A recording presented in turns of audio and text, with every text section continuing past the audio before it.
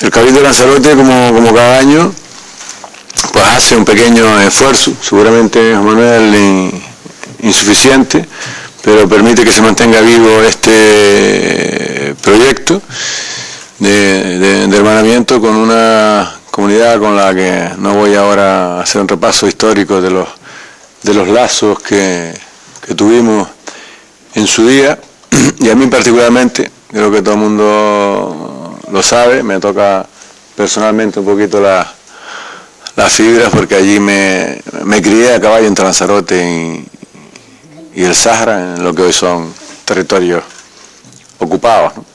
Y a quienes me acompañan también, porque Marci ha sido una de las personas que ha acogido durante muchos años también algunos de esos, de esos niños y Juan Antonio siempre ha tenido también mucho vínculo con, con su causa, ¿no? con su justa causa que dura ya 30 y cuánto? 35. 35, 35 años, ¿no? El estado las cosas no parece que haya avanzado demasiado, pero bueno, desde el, Cabildo como institución y desde mi persona en particular, pues todo, el apoyo y toda la solidaridad.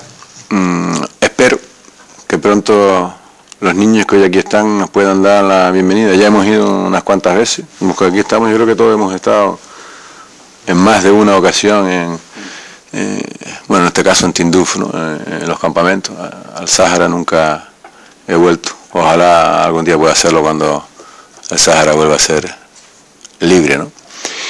Simplemente darle la, bienvenida a todos los niños que van a pasar estas vacaciones en Lanzarote y desearles que su estancia pues sea buena y seguro que se van a divertir muchísimo, ¿no? Eh, solamente añadirles que ahora vamos a tener un pequeño encuentro mm, para pasar un rato y, y departir un rato con la familia.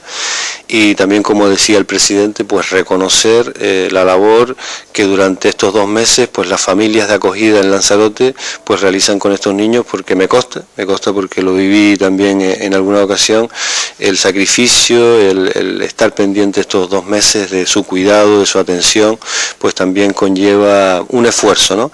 Un esfuerzo que debe eh, ser valorado.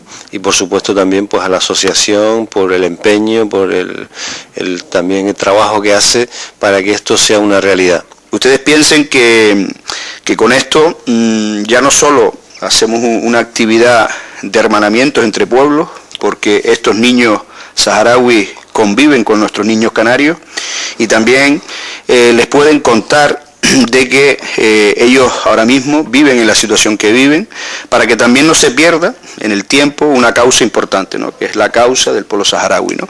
Y simplemente, y el Cabildo de Lanzarote lo ha hecho varias veces ¿no? en, declaraciones institucionales, simplemente que lo que se pide es que por una vez de, por todas se haga ese referéndum eh, que decida el futuro del pueblo saharaui, el, derecho de autodeterminación que tiene cada pueblo. Es simplemente eso y programas como este mantienen vivo, mantienen vivo ese, ese derecho y esa causa del pueblo saharaui, sobre todo para que nosotros, hermanos que, que, fuimos, que somos y que seremos de ellos, ¿no? porque convivimos mucho con ellos, aquí hay un ejemplo que es nuestro presidente del Cabildo que se crió en, esa, en esas zonas. ¿no?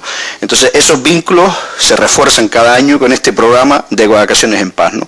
que cumple también otro requisito que es que estos niños dadas las temperaturas altas y las condiciones, yo he estado en Tindú, son unas condiciones muy adversas, pues puedan disfrutar de otro clima distinto y también de otro tipo de vida, ¿no? y que lo conozcan, ¿no? porque a lo mejor el futuro de ellos va a ser ese tipo de calidad de vida que nosotros tenemos, ¿no? y eso es lo que nosotros deseamos y esperamos. ¿no? Nosotros llevamos 35 años, como ha dicho el presidente, resistiendo, no luchando, sino resistiendo para recuperar nuestras tierras y, los vecinos, en este caso Lanzarote, el pueblo de Lanzarote, pues eh, está demostrando una solidaridad importante. Como coordinador del programa Vacaciones en Paz, eh, pues agradecer a todas esas familias que cada año, ¿no? porque se trata de los meses de verano, realmente con un sacrificio para nosotros que es en plenas vacaciones, el cuidado, lo que dijo ya pues Marciano, ¿no?